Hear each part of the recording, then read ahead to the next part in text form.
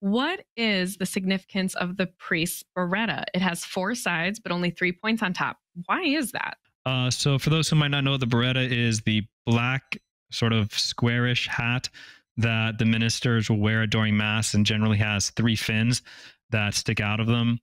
Uh, and he wears it when he presses to the altar and then takes it off, puts it on when he's sitting, and then wears it when he leaves.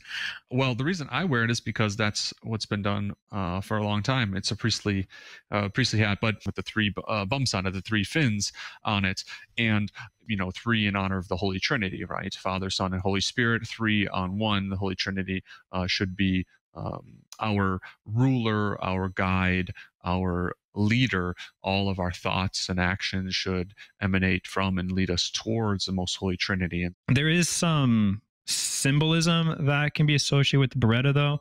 Uh, in the tonsure ceremony, which is historically when one would enter into the clerical state and receive the right to wear the cassock and the surplice, uh, you would go before the bishop and he would cut five tufts of hair from your head in the shape of a cross while you're repeating a psalm with him.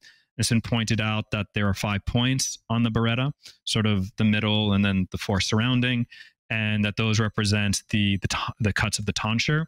So in a certain way, it can be seen as a remembrance to the priest of his tonsure that he dedicated himself to the service of the Lord. Um, the origin of it is very practical. It's to keep the priest's head warm. Uh, like, like so many things, they just had a practical reason in the beginning.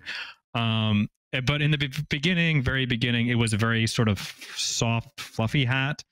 And so what happens, you have the soft, fluffy hat on your head, and you would grab it to take it off, and you would form these little dimples or these bumps.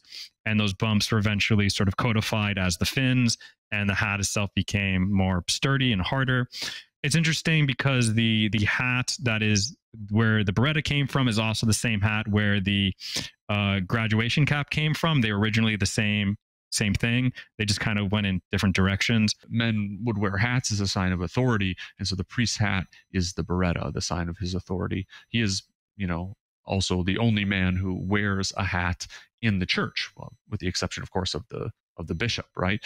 Uh, because he has the authority there, but he never wears it, you know, at top at the top of the altar, but rather only when he's facing the people, when he's preaching, it's a sign of his authority with regards or his holding the place of Christ with regard, regards to the people.